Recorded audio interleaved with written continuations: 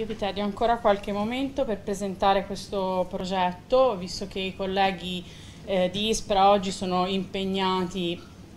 eh, in una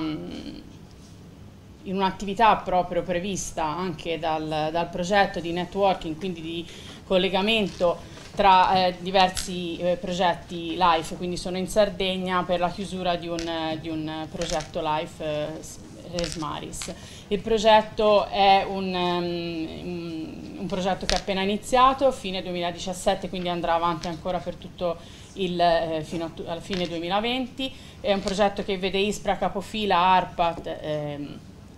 eh, partner, uno dei, dei partner, e è, un progetto eh, che ha lo scopo eh, principale di migliorare la governance italiana sui, dei trapianti di, eh, di Posidonia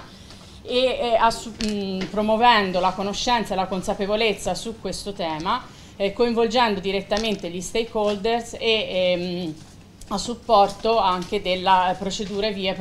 previste in, in, questi casi. Le, la, quindi la, una delle azioni, il progetto si articola in, in cinque azioni fondamentali, quindi l'azione possiamo definire un progetto appunto di governance, è un life governance, principalmente governance e e comunicazione. Quindi l'azione della governance è la prima azione eh, predominante in cui si vengono coinvolti sia stakeholders ehm, politici, quindi che sul territorio hanno il potere decisionale, le regioni in primis, i comuni, quindi di ehm, attraverso delle interviste strutturate o semistrutturate, ma anche target, eh, un target molto più ampio di, rappresentato da cittadini, associazioni o professionisti che comunque hanno interesse in questo argomento attraverso le interviste un pochino diverse che definiamo non, non strutturate. Eh, sempre la parte di governance eh, riguarda l'analisi dei eh, procedimenti via eh, che eh, hanno riguardato i casi studio eh, che prendiamo in considerazione nel progetto, che sono principalmente quattro, adesso vediamo quali sono, ma non è detto, stiamo pensando anche a ampliare un po' il, ehm, la casistica, soprattutto a livello eh, di Regione Toscana. La Regione Toscana non è un partner ufficiale di progetto, ha mandato avanti la sua ARPA, ma è fortemente interessato a questo progetto, ai risultati del, di progetto, ha dato un forte endorsement al, al progetto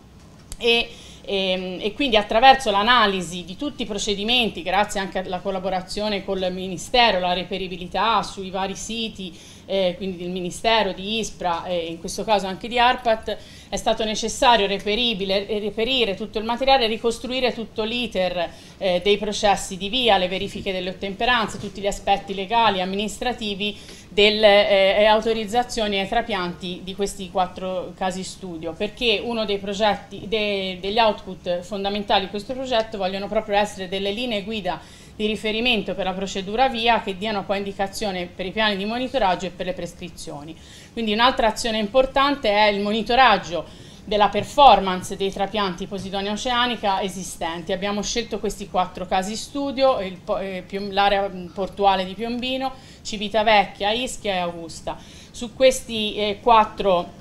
eh, siti eh, principali, però detto probabilmente amplieremo anche con altre casistiche, anche eh, a livello toscano sicuramente. Sono previste intanto due campagne di monitoraggio, una eh, partirà tra qualche giorno e una il, nella estate prossima del 2019 e queste campagne ci servono per la definizione esatta di protocolli di monitoraggio e per la raccolta di dati aggiornati sulla performance del trapianto. Quindi andiamo a vedere in questi casi cosa è successo, quali sono state le tecniche adottate e quali sono i risultati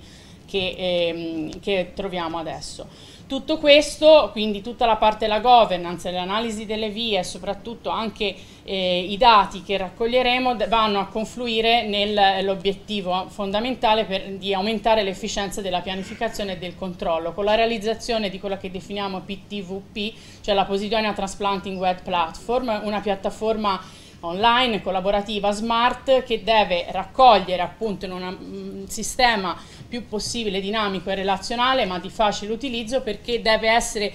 nostra, eh, nostro scopo è quello che dovrebbe essere utilizzabile da tutti, quindi sia dal proponente che si trova davanti a, alla problematica di eh, dover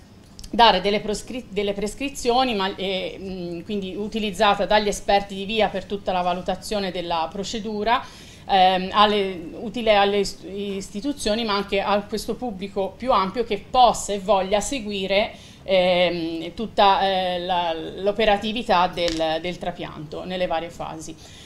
Ehm, L'obiettivo anche importante eh, del, mh, del, progetto di sviluppare buone pratiche eh, replicabili all'interno di tutto il bacino mediterraneo si esplica attraverso l'azione B4 appunto di trasferibilità e replicabilità dei risultati del progetto LIFE che si, ehm, era già stato accennato anche stamattina, si tradurranno in, nella redazione di manuali tecnico-scientifici e anche in corsi di formazione. È proprio questa eh, azione, questo obiettivo che noi vediamo eh, insieme, sia ISPRA che ARPA, eh, ci vediamo proprio inseriti noi come eh, agenzie, ma eh,